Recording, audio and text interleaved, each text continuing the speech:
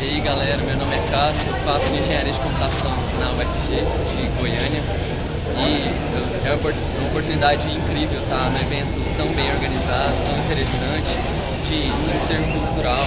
que reúne gente de toda a área, gente da música, gente da arte, gente da, da área de computação mesmo, né? E eu estou participando da área de robótica